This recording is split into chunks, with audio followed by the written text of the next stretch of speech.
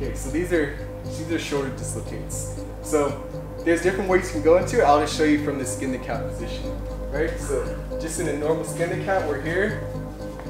kicking over, I'm gonna let my knees come to the ground. So now from here, I'm just completely taking my shoulders to that full range of motion, coming forward, and then coming all the way back. Right? So just taking my shoulders to that full range of motion and breathe. And I'll come back forward. And I wanna be nice and controlled as I do it. So I'm here.